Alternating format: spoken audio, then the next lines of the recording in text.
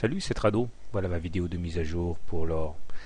Eh bien écoutez, je suis désolé, mais j'ai absolument rien du tout à vous raconter de plus euh, aujourd'hui qu'hier, puisque la configuration de la bougie euh, qui clôt cette journée de vendredi reste euh, en accord parfait avec ce qui s'est passé auparavant.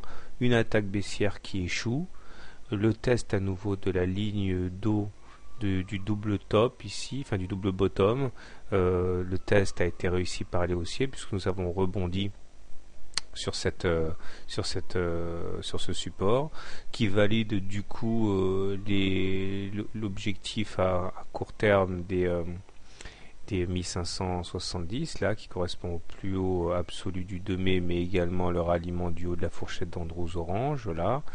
Euh, non franchement j'ai rien à raconter hein. le, flag ici qui indique toujours un objectif à moyen terme de 1660 euh, les indicateurs techniques demeurent euh, bien orientés MACD au-dessus de son signal momentum positif stochastique en zone de surachat on remarquera quand même peut-être que les deux attaques baissières du jour n'ont même pas permis de toucher la M20 avant que les haussiers hein, profitent de la décrue pour rentrer à bon compte.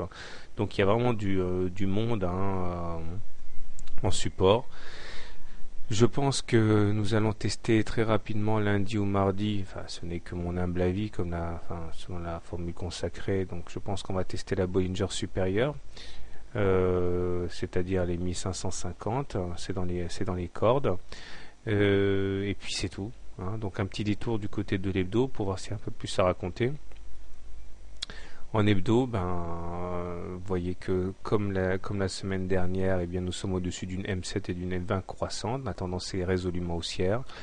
On est toujours en transhumance vers le haut du canal noir qui à terme devrait nous amener vers 1640, 1650 qui correspond d'ailleurs vous n'aurez remarqué à, l'objectif euh, du, drapeau ici. Hein.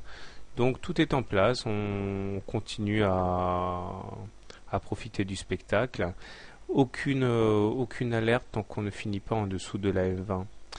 Alors, puisqu'on est au-dessus d'une M20 croissante, je suis toujours euh, plutôt favorable aux achats qu'aux ventes à découvert. Si vous voulez acheter l'or, eh bien, vous avez un bon point d'entrée chaque fois qu'on vient tester la ligne d'eau, puisque l'analyse technique consiste à dire que ce qui s'est passé dans le passé va se reproduire. Donc, euh, puisque c'est ça qui fonctionne, pourquoi cela changerait-il demain?